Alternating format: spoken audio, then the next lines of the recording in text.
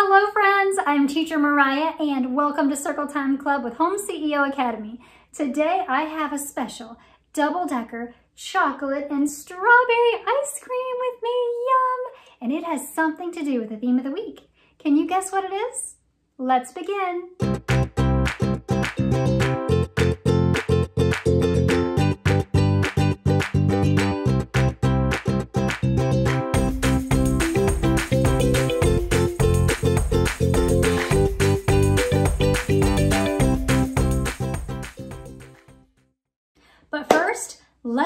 With Lexi for today's hello song. Hello kids, today we'll be singing about our ice cream song while we do our hello song. Ice cream, ice cream, a yummy hello to you. Yummy, yummy, a hot summer day. Hello, hello, and ice cream, hello. Do you like ice cream? If you do, what's your favorite kind? If not, that's okay too. Goodbye. See you later. Friends, the song of the week is this one right here, and it is called Who Says Moo Moo? And this song is sung to the tune of The Muffin Man. So let's sing it together. Oh, do you know who says moo moo? Who says moo moo? Who says moo moo? Oh, do you know who says moo moo? The milk cow says moo moo. Oh, do you know who gives us milk? Who gives us milk? Who gives us milk? Oh, do you know who gives us milk? The milk cow gives us milk. It's that time of the week that we get to build our theme shelf and discover what our theme of the week is. So let's pull things from our mystery box here. I wonder what we have today. Oh, check out this book. It is called Cock-a-Doodle-Doo Farm. So cute. Now this book, I'm going to open it up to a special page. This page right here. And it, look, on this page it says the dairy cow says, I hear someone calling you. Could it be a rooster going cock-a-doodle-doo? Hmm. Wonder what that cow has to do with our theme. Well, let's build our theme shelf a bit more with this interesting item. This is a kind of a barn. And so we're gonna put it right here to keep that book open. Let's see what else Mystery Box has for us.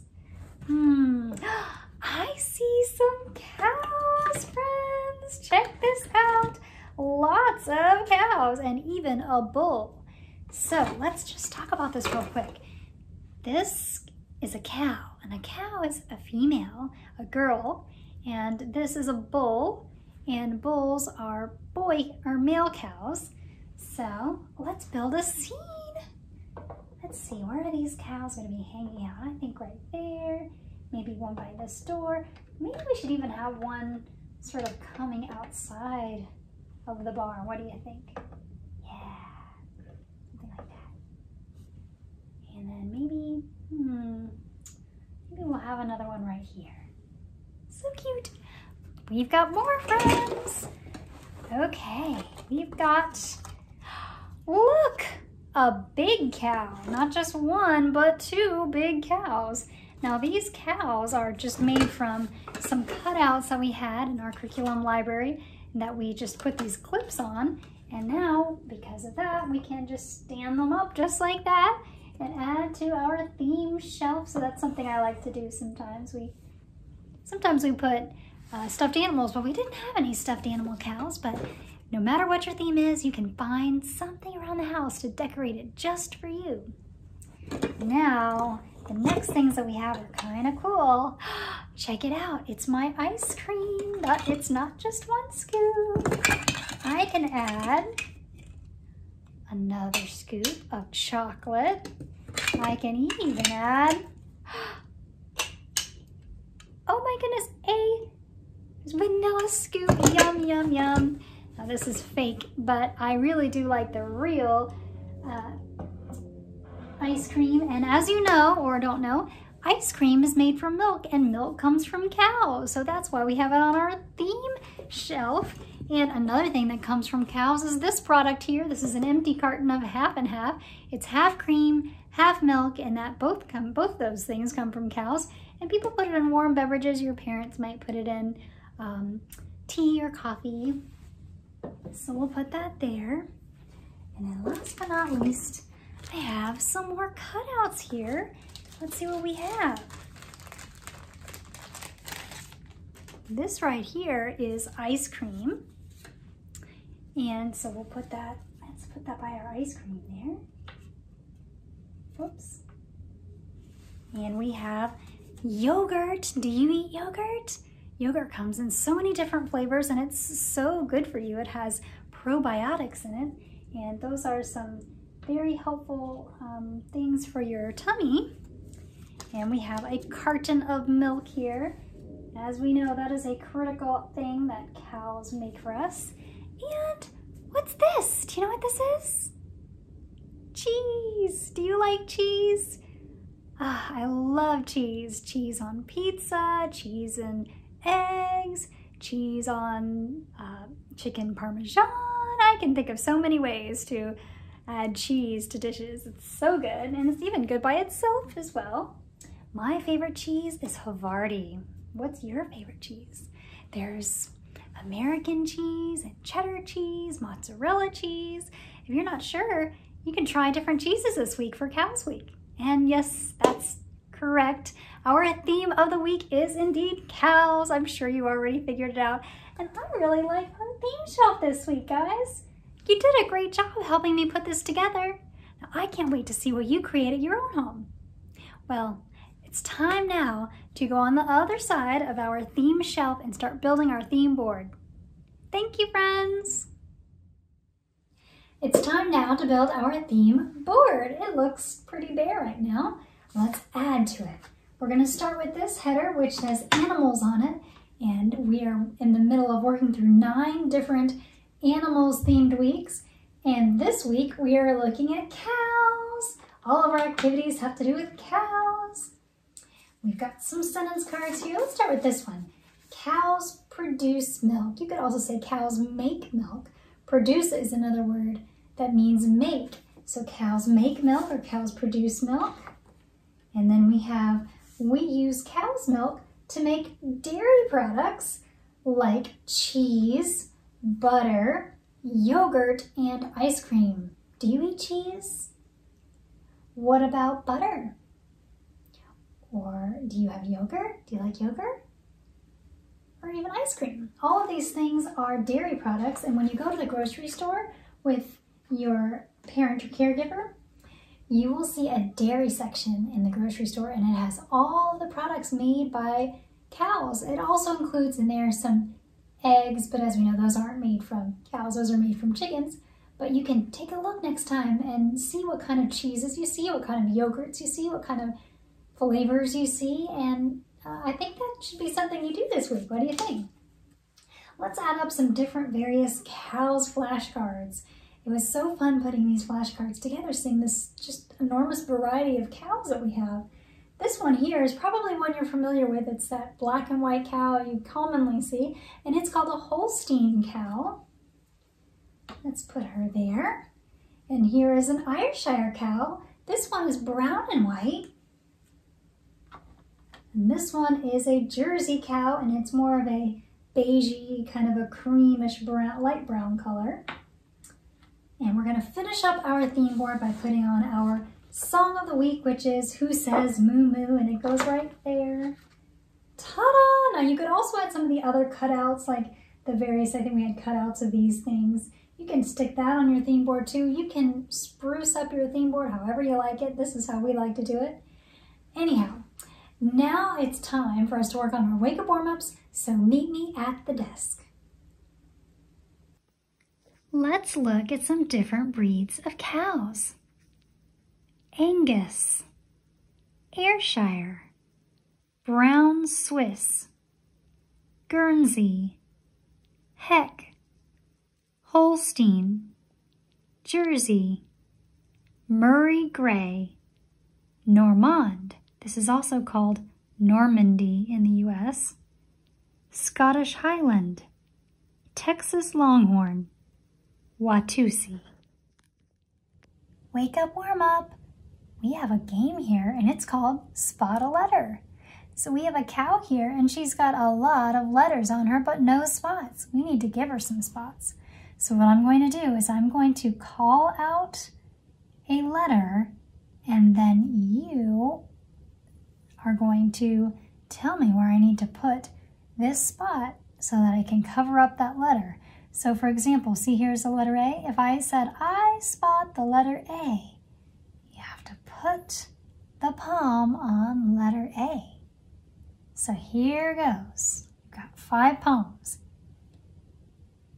Do you spot the letter D? Look closely. There's the letter D. Do you spot the letter R?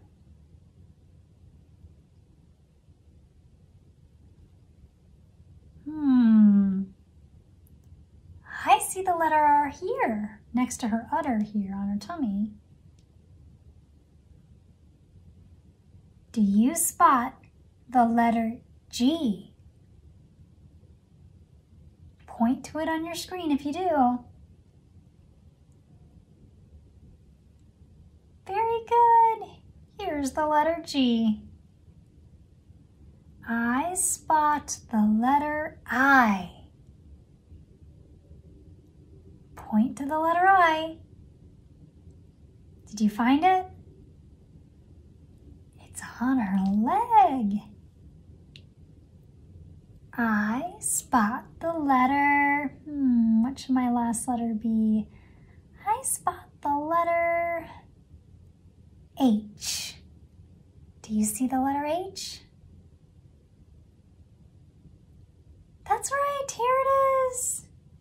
Now you can play this multiple times and you can switch turns. Somebody spots and somebody calls out the letters and you can cover your cow or just do five at a time.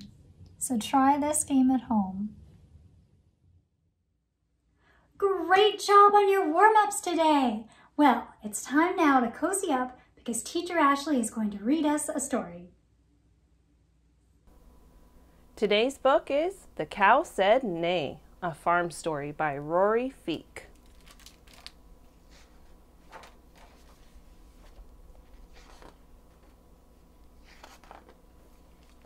There once was a cow in a barn who could see, a horse in a field who ran wild and free.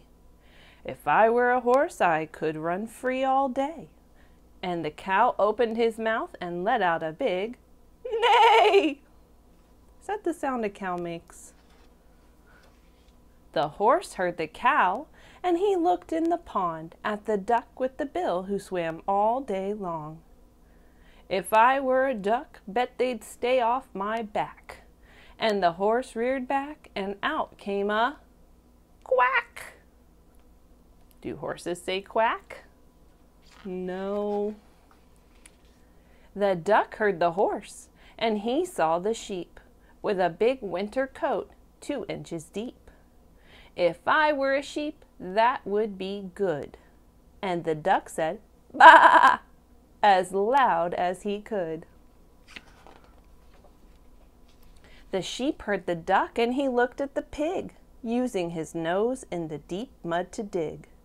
If I were a pig, I could dig with my snout. And the sheep opened his mouth and an oink came out. The pig heard the sheep and he looked in the yard at the dog on the porch who proudly stood guard. If I were a dog, I bet I could be tough. And the pig wiggled his tail and he let out a ruff. The dog is like, What just made that sound? The dog heard the pig and he looked in the house at the cat on the rug that was chasing a mouse. If I were a cat, I'd be inside right now. And the dog opened his mouth and let out a meow. The cat heard the dog and he left the mouse there and looked at the farmer asleep in his chair. If I were a man, oh, the places I'd go. And then the cow purred and let out a hello. The farmer opened his eyes when he heard the cat, and he thought to himself, Did I really hear that? Then he walked to the barn and he opened the door and heard some more things he'd not heard before. The cow said, Nay! And the horse said, Quack! The duck said, Bah! And the sheep said, Oh, and the sheep oinked back. The pig said, Ruff! And the dog said, Meow! As the cat and the farmer stood by the cow. Then the farmer smiled. What else could he do? But opened his mouth and let out a big moo. That was a silly book, wasn't it? All those confused, confused farm animals. That was The Cow Said Nay, a farm story by Rory Feek. Friends, thank you for joining me at my work table. Now remember, all activities we do at the work table need to be completed with teacher or caregiver support. Today, for our directed drawing, we're doing the letter E elephant. So we have our letter E here, and we're going to go through each step to create this final picture. So let's start with step one. What's different from this picture to this picture? Hmm, this picture has kind of a weird closed blob here. That's the elephant ear. So we're going to start here. Let's see, we'll start here. Come down. Come around and then kind of draw it like that. There we go. It's roughly like this picture. And let's look at step two. So in step two, we've added a trunk off the top part right here. So our trunk kind of looks like, let's see, kind of a curved line like that. We come down again, and we draw it back up here. Look at that. Okay, step three, what's different in this picture? We have three dots on this part and three dots on this part. So do one, two, three. And we'll do the same here. One, two, three. And then we have a circle with another circle inside of it for the eye. So let's see, we want a circle with another circle inside of it, and the circle that's inside of it is colored in. Okay, what's step four show? What's different? We have an extra line added inside the ear. So we'll follow that line. There we go. And then we have some curved line on our trunk. Curved lines on the trunk. There we go. Ta-da! Here's my elephant. So to complete this picture, I would need to get the color gray to color the E around the outside of the ear and the trunk. And then the color pink to color the inside of the ear. Okay, so that was our lettercraft directed drawing. And our two activities are this first one is called beginning sounds. The directions say to color in the letter that matches the beginning sound for each image. So here we have a p -p pitchfork, hay, cow, and tractor. Okay, so we would listen for the sound p pitchfork and say, does it start with a mm, or oh. Which one does it start with? It starts with a p, p doesn't it? So then we color that part in. And you do the same for each of the other pictures. And this one says farm herd. How many of each animal do you see in the box? count, and then write the number found on the line next to each animal. So first I would look at the picture here. I have a cow, and I would see how many cows are over here. One, hmm, two. I have two cows. So right here on this line, I would write two.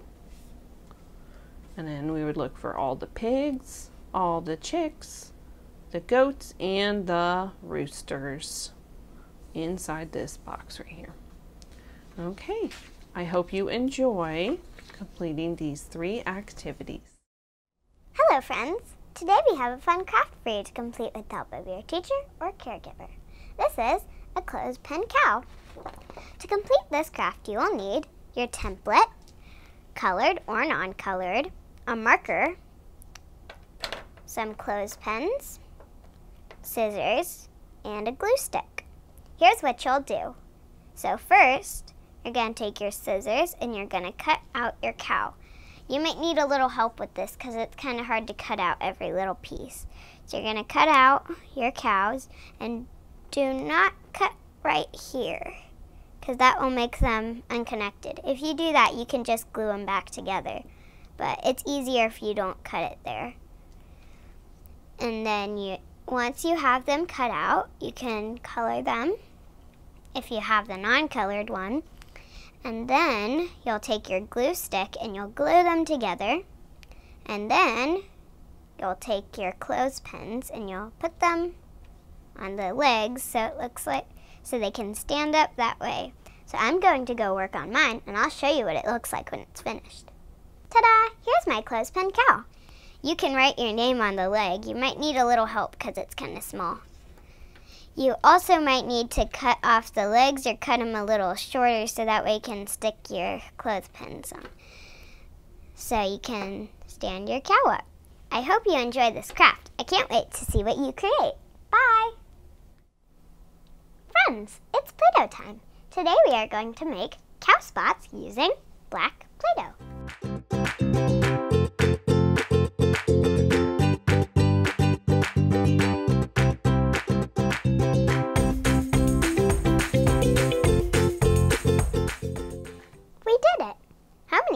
Did we make? One, two, three, four, five. Five cow spots. Well done. Great job today at Circle Time Club. We had such a blast with you. I hope you had a blast as well. Now remember, when you go and do your activities, make them unique and special to you. We'd love to see them. Write to us sometime.